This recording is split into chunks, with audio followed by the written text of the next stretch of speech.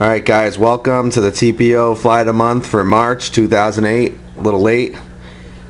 Uh, this month I'm going to make my uh, 265 sulfur nymph. This is the one that got the big fish in the west branch of the Delaware last summer. So for 26 and a half inches we call it 265 nymph. Alright, I'm going to use, for this fly, I'm going to use a 3761 SPBL. It's the Super Point Barbless Hook by Tiemco. Alright, I'm going to start off, I'm going to use U Ultra Thread UTC in dark brown 70.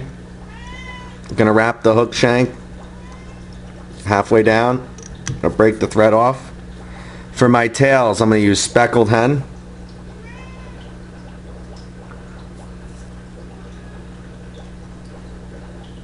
I'm gonna pull about six fibers off. I'm gonna make my tail about as long as the hook gap.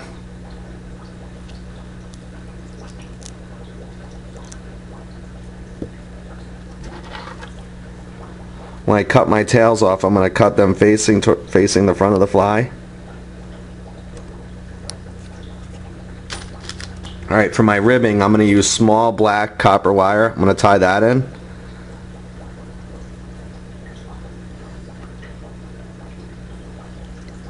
Alright, for my dubbing, I'm going to use Davy Wotton SLF Masterclass dubbing mixed with a little bit of brown ice dubbing.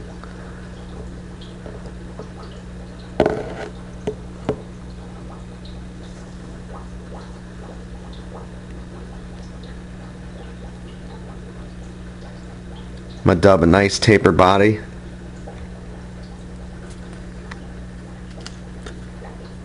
I'm going to go about halfway to two-thirds up the hook.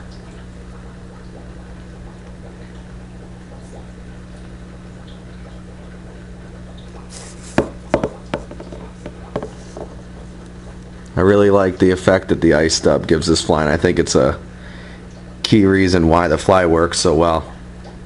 All right, for the next part of my, for the next part of my fly, I'm gonna wrap the copper wire, spacing at about an eighth of an inch apart.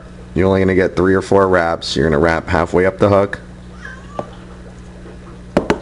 Gonna tie it off.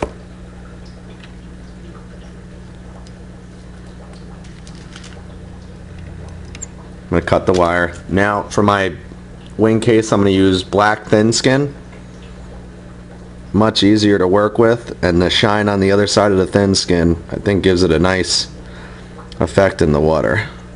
So they can pick out this one from all the other naturals floating by. Next I'm going to dub the thorax of the fly. This is going to be much thicker than the rest of the fly. So I'm going to be quite generous with my dubbing here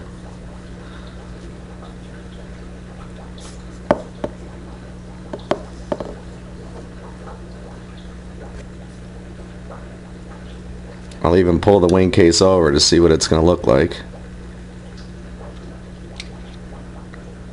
That looks to be about right. So now what I'm going to do is I'm going to take my speckled hen again. I'm going to use the same feather for my legs.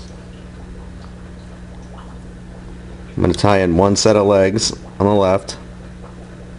Now I'm tying these legs in before I pull the wing case over. I find that if you do this, the legs will hang closer to the body and they won't stick out as far as they would if you tied the legs in after you pull the wing case over. And also, you won't crowd the eye of the hook, which is a common problem people have when tying mayfly imitations. They try to tie everything in too late. And it ends up being a major cluster in the front of the hook here. So I've tied off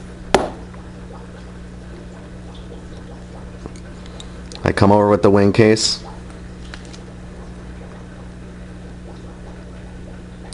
Gonna cut it really short. Now, I don't like all that thread in the front of my fly, so what I do is I'm gonna dub a small head on my fly.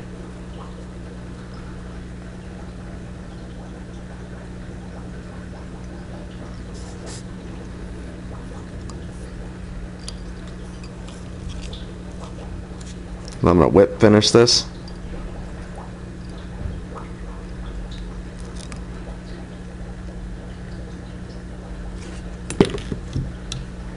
Trim the thread. Take it out. And if you look, that's the exact profile of a mayfly nymph. Very realistic. Uh, very realistic impression of a mayfly nymph, but it still has a lot of the impressionistic qualities that a hare's ear or a pheasant tail has. And it looks virtually the same from every angle that you look at it, which I think is a very important quality of all uh, productive flies, that they all look the same from three from every single angle when you rotate it.